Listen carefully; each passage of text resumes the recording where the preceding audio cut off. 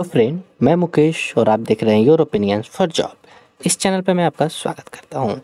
इस वीडियो में हम लोग बात करने वाले हैं आरआईटीएस की तरफ़ से, जो वैकेंसी देखने को मिल रही है। इसके बारे में आरआईटीएस जो कि एक मिनी रत्न कंपनी है, और सेंट्रल गवर्नमेंट के अंतर्गत आती है मिनिस्ट्री ऑफ़ रेलवे के अंतर्गत आती है। इसमें कंस्ट्रक्शन के जो भी काम होते हैं रेलवे के, इसी द्वारा किए जाते हैं। तो इसमें वैकेंसी देखने को मिल रही है, जो कि ग्रेजुएट इंजीनियरिंग ट्रेनिंग और कुछ इंजीनियर्स की है जो कि विदाउट गेट है और कुछ गेट के थ्रू है। तो हम लोग देखने वाले हैं कि आखिर किस किस पोस्ट के लिए वैकेंसीज निकल रही है। तो चलिए हम बिना देरी के देख लेते हैं।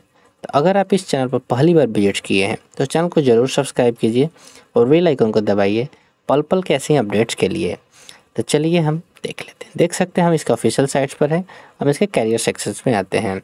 जैसे आप करियर सेक्शंस में आइएगा तो यहाँ वैकेंसीज़ का ऑप्शन दिखेगा। जैसे क्लिक कीजिएगा तो आप देख सकते हैं न्यू नोटिस दिया गया है। अठारह, पच्चीस, दो, बीस।